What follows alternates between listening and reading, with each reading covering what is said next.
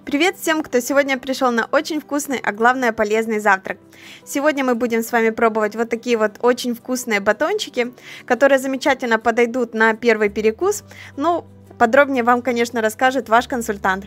Готовится все очень просто. Для начала нам понадобится арахис, который я поджарила немножечко в духовке.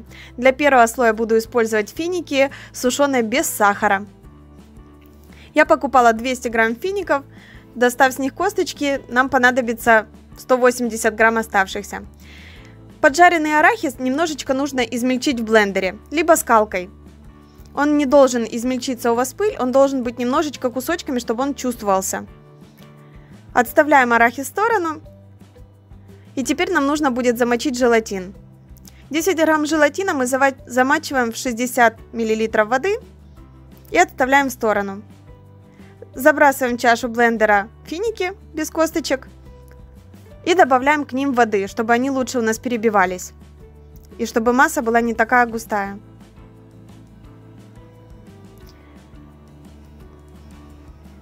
Отправляем все это измельчаться в кухонный комбайн. Это можно сразу делать на месте, в кухонный комбайн забрасывать, и происходит это все намного быстрее. Получается вот такая вот паста, довольно густая. К ней мы добавляем коктейль, любой по вкусу. У меня здесь смесь, здесь немножечко печенья и крем-брюле. Можно сюда добавить любой другой, который вам нравится. И перемешиваем, чтобы не было никаких комочков в коктейле у нас. Тем временем у нас набух желатин, он полностью впитал всю водичку.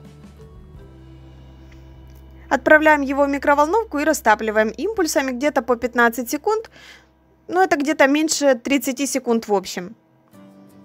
Посмотрите, какая красота, густая масса у нас получилась с коктейлями-финиками. Добавляем к ней желатин. И нужно просто это перемешать. Опять поставила на 30 секунд на кухонную машину. Добавляю сюда арахис, который мы измельчали. И тоже его буквально нужно перемешать. Долго не взбиваем, чтобы арахис у нас не перебился в пыль там. Мне удобно будет использовать вот такой вот пакет. Масса у нас не горячая, поэтому переживать тут нечего. С пленкой мне не так удобно. Пакетом выстилаю форму, в которой мы будем выкладывать наши слои. У меня это будет разъемная форма. В этот раз я выливала форму диаметром где-то 35 на 25. Застилаю пленкой форму и выливаем нижний слой, который у нас сладенький, такой с финиками. Очень красивого цвета получается. И очень орехами пахнет. Разравниваем по низу, чтобы во все уголки у нас зашло, чтобы был ровненький пласт. И теперь поверху раскладываю еще 30 грамм арахиса. Конечно, сюда можно использовать любые другие орехи, которые вам нравятся. Можно использовать грецкий, но замечательно сюда подойдет фундук.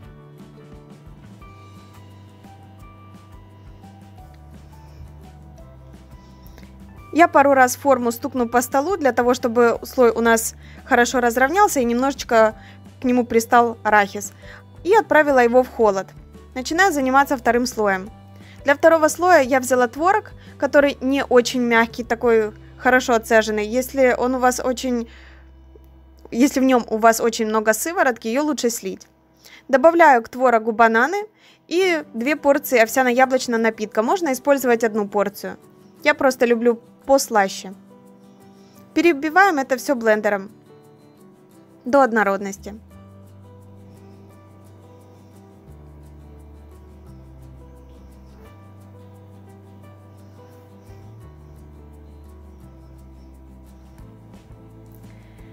Теперь я буду добавлять сюда ванильный коктейль. Можно добавить любой фруктовый. Это может быть и дыневый, и тропик, и клубничный. Ну, конечно, с орехами клубничный не очень сочетается. Ванильный вот самое оно. И теперь уже точно до однородности измельчаю все. Здесь я тоже замачивала желатин изначально. Вот так вот он уже у меня набух. Отправляю его тоже в микроволновку, чтобы он растворился полностью, не было никаких гранул. Добавляю к творожной массе. И перемешиваю, чтобы все соединилось. Второй слой у нас готов. После того, как схватился у нас уже первый слой, можно на него выливать второй. Вот у меня он уже очень быстро на холоде схватился. Можно его поставить в морозилку, и он там за 15 минут у вас схватится. Выливаю второй слой.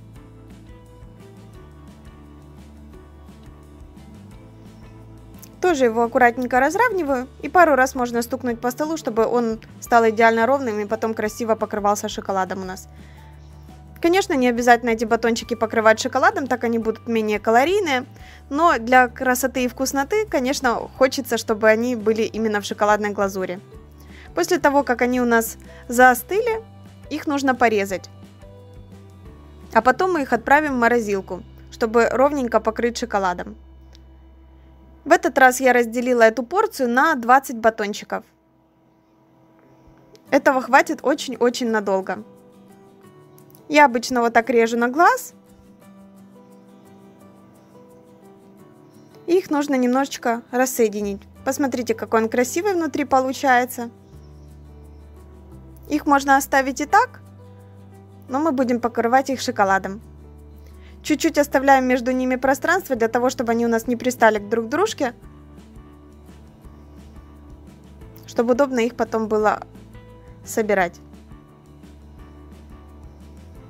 Отправляем их в морозилку, чтобы они у нас хорошо схватились, не были мягкими и их удобно было покрывать и быстро шоколадной глазурью. Я буду использовать шоколад Ерба шоколад, который у нас на коктейле. Рецепт не вижу смысла здесь показывать, потому что Юлечка уже нам давным-давно его показала, и мы уже ним давно пользуемся. Беру уже замороженный батончик и макаю его в шоколад. У меня там было и коктейль с печеньем, поэтому такие шарики еще плавают в шоколаде, что тоже очень красиво. И сразу сверху украшаем орешками, потому что шоколад быстро схватывается на замороженном батончике. Выкладываем на пленку. Все происходит очень быстро. Мне здесь понадобилось две порции шоколада.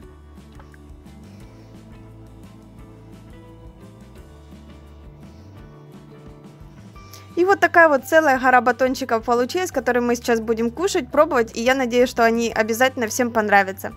Всем спасибо за просмотр, живите вкусно, живите здорово. Пока-пока!